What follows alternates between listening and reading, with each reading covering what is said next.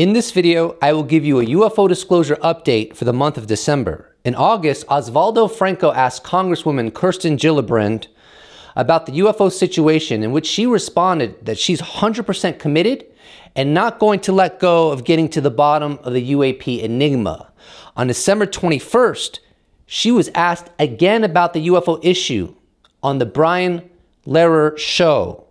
Let's give it a listen. Hi, um, I'm calling because Senator Gillibrand was behind a landmark uh, amendment to the 2022 NDAA that required the That's DNI. the National Defense Authorization Act, the money for the Pentagon and military. Uh huh. Exactly, and it required them every October 31st through 2026 to provide updates to the public on UAPs, which are unidentified aerial phenomenon. I want to thank the senator for taking the issue seriously. So far, it's now December 21st. Nothing's been provided. I'm curious what she thinks is going on and if she thinks the Pentagon is taking it seriously.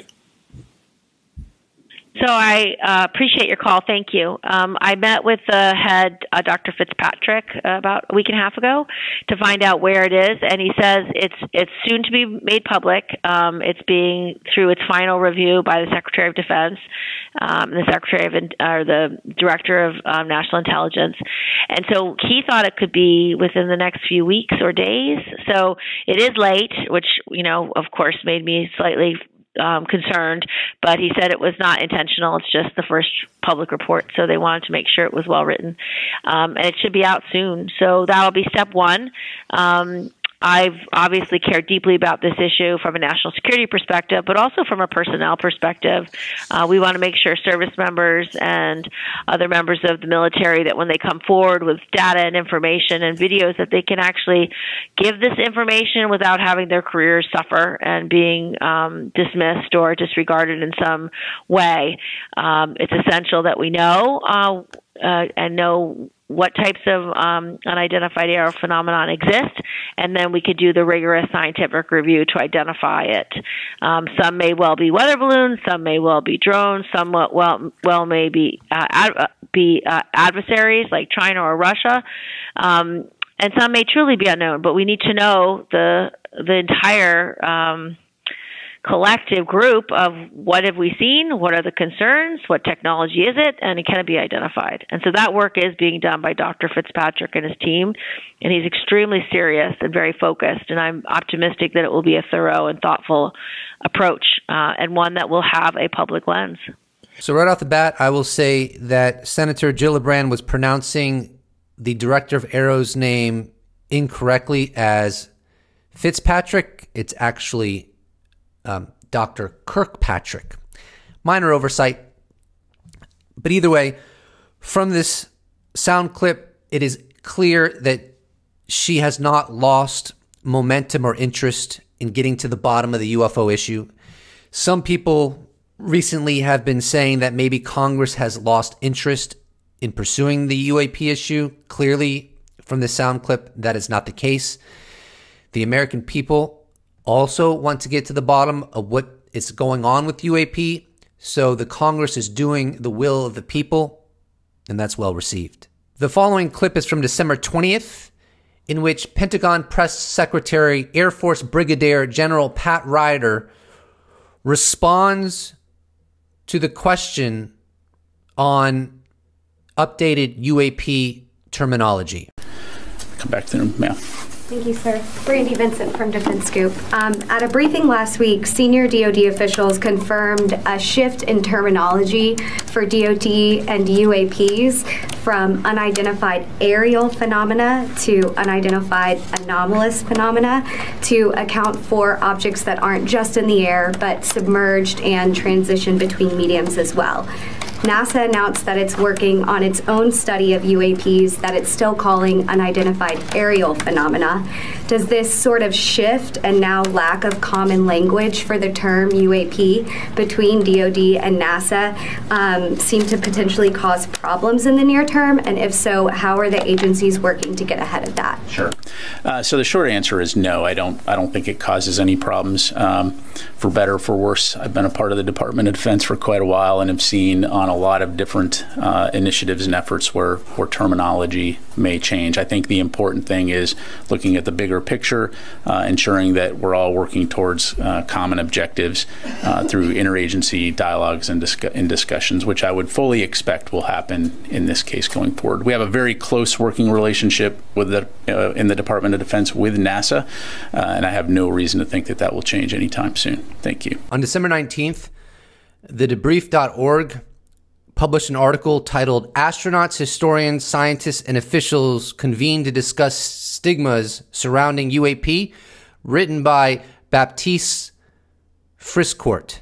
I'm going to share a small segment from that article. Harvard astronomer Avi Loeb, who was also interviewed during the event, emphasized how we have yet to learn about the universe, citing a June 2021 Office of the Director of National Intelligence preliminary assessment on UAP as a turning point. Quote, the intelligence agencies and the military in the U.S. have data that indicates that there are real objects, Loeb said, adding that UAP has been observed on multiple instruments, thereafter citing past statements by John Ratcliffe, NASA Administrator Bill Nelson, and former U.S. President Barack Obama on the subject, all of which served as the impetus for the founding of his own Galileo project. Now, that citation is absolutely fascinating because it is a microcosm of what will become a macrocosm. The developments that were cited by Harvard scientist Avi Loeb, as he stated, led to the creation of the Galileo Project, which is a scientific effort by him and other scientists and other personnel to do a long term systematic study of UAP. And that's one example of how things have shifted since the December 16th, 2017 New York Times article. But things are going to continue to shift on larger and larger scales, and you're going to notice it more and more. Another example could be the video I just shared with you with the Brigadier General Ryder.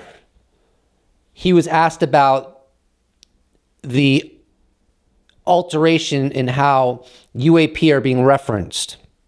Not one giggle, not one smirk, no X File music during that presentation that, that is an evolution. That is the result of the zeitgeist shifting and UAP being perceived as a serious issue. Whereas prior to December 16th, 2017, and frankly, even after to some extent, it was laughed at. It's not really being laughed at anymore. And this brings me to an amazing interview Jimmy Church conducted with Luis Elizondo's lawyer, Daniel Sheehan, who has an illustrious career as a lawyer involved with, with cases such as the Pentagon Papers and so forth. In the following citation from that interview, he talks about a group that he is putting together to ensure that we as a human family get to the bottom of what's going on with UAP. And this would be another example of how the New York Times article coming out and the developments that followed are changing the very fabric of our society as it relates to UAP. Now, we're only in the beginning stages of that. As time goes on, we'll see it more and more. Eventually, in my opinion, we will get disclosure. And the UAP issue, frankly, will be discussed more than any other topic on the planet and covered in the news more than any other topic. And will be the number one mystery for scientists and academics and people at large.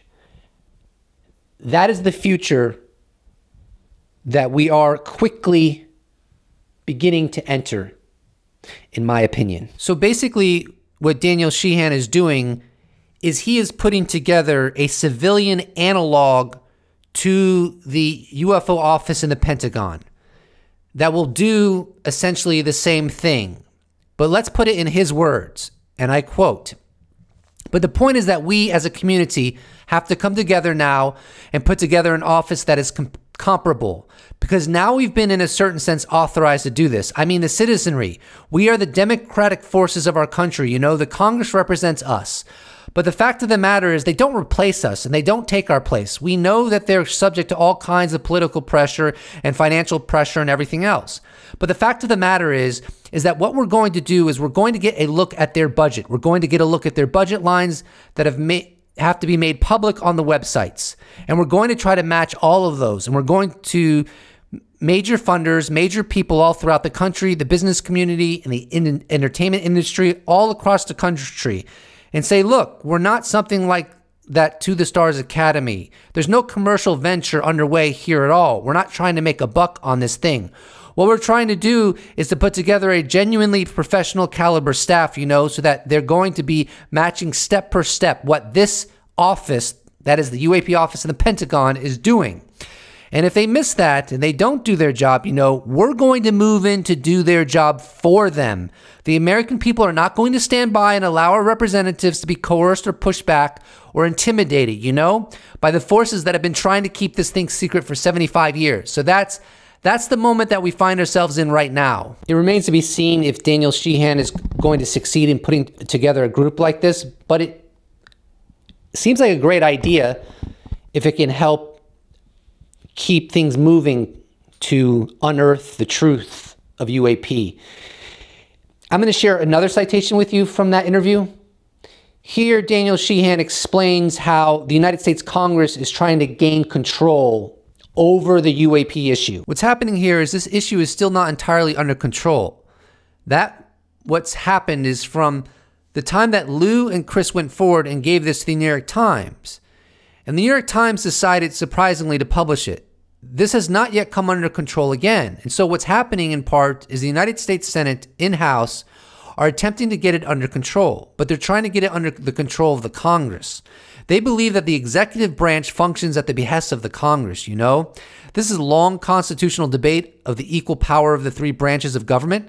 But the fact of the matter is that, from a basic point of view, the executive branch is supposed to function to carry into execution the laws and policies that are actually formulated by the legislative branch. And the judicial branch is, is to interpret them. And so, therefore, the recapture of control over this extraordinarily important subject matter by the Congress of the United States is what's in process right now. And if they can succeed in getting control of this and they realize that they have to exercise extraordinary care here, because if they miscue and they release any of this information that the executive branch views to be a complete third reel, then the executive branch is going to lock down on them and they're going to refuse to really cooperate with them de facto. Now for the dessert.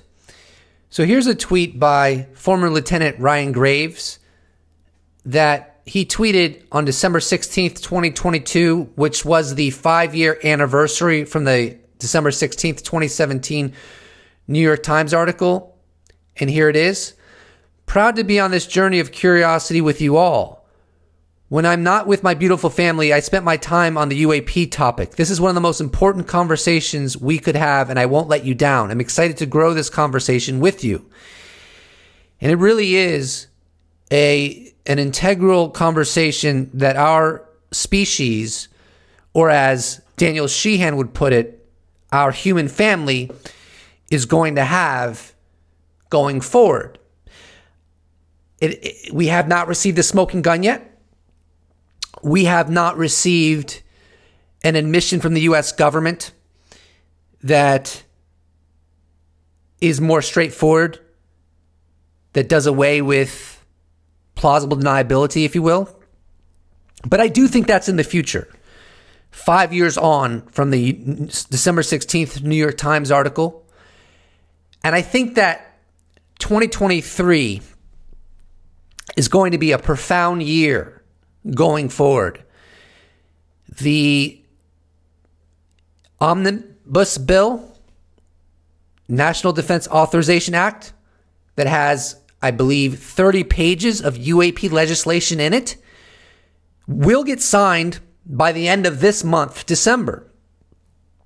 And I think that's going to put us on a whole other gear of the disclosure process.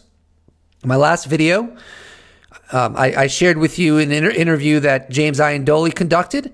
And in, in that interview, George Knapp said that Congress has already received testimony from whistleblowers.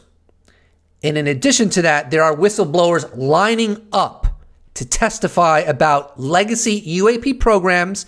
And he's aware of five individuals that are going to do so from the intelligence community.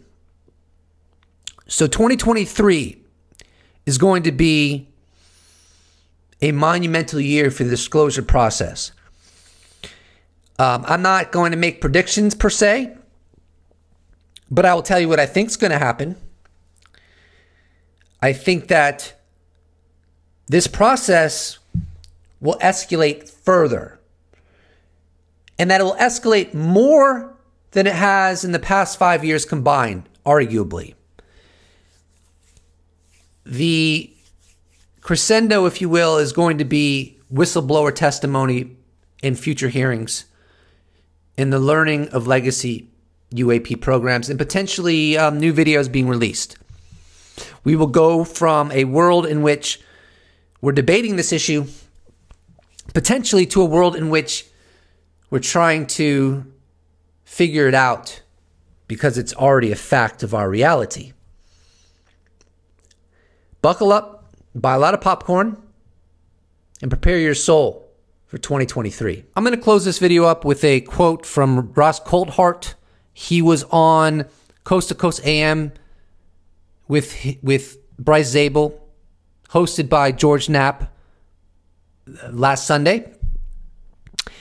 Ross has been relatively pessimistic about the disclosure process, but in this following quote, this is what he hopes we receive in 2023 at the very minimum. And I quote So, the best possible spin that I can put on this is that there is a very good reason for why the United States might be sitting on this issue, why it might be concealing it, because it basically wants to not show its hand. What I don't understand is there's a difference between acknowledging a non human intelligence on this planet and then acknowledging recovered technology. You could do one without acknowledging the other. And that's what I think we should see. That's my prediction for 2023. My hope is that we will see some concession from the government that this isn't just anomalous technology in our atmosphere, in orbit, and underwater, that whatever this is, it's not human. We've been on this path for five years now. And we are on the brink of the NDAA getting signed in, getting a front row seat to 2023, the year in which we may have more progress on the UAP front than we've had in all 74 years preceding it. Now, ain't that a thing? I'm going to play the disclosure flute. flute. I'm going to play the disclosure flute to help usher in a post disclosure world and to bless your soul. And I will see you in 2023.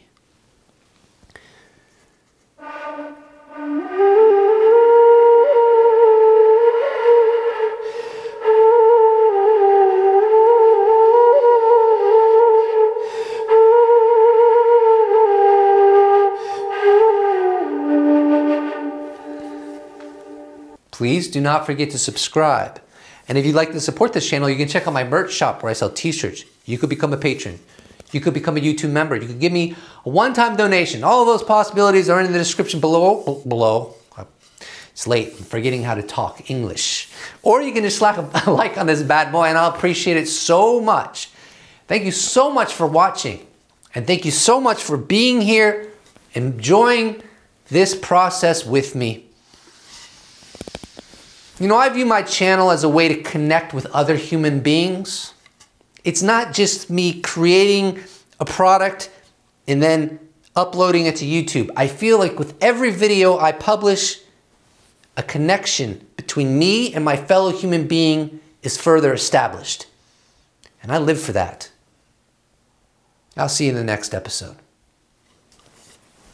Special thanks to all patrons, YouTube members, those that have bought merch, those that have given me one time donation. I couldn't do without you. Thank you so much. See you in the next episode.